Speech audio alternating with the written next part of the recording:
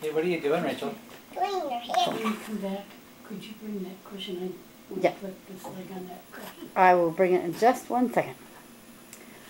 Okay, and what's today? It's the 27th. February 27th. Don't talk. Oh, Oh. sorry. Oh, Cause o- only I can talk. Cause you you have to be quiet. because I'm doing your haircut. well, you're doing a very nice job.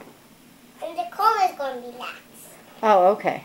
Hey, what's gonna do my be my other things? Well, you can find other things. You could put the headband on. Do you think Daddy would look nice with a headband on? Well, that's gonna be good. But but it's the scissors. Oh, scissors? No one else can touch these scissors. They'll be dangerous. Oh, okay. Only I can touch them. Okay.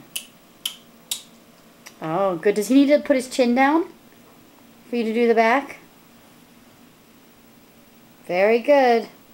I think you're doing a lovely job with him.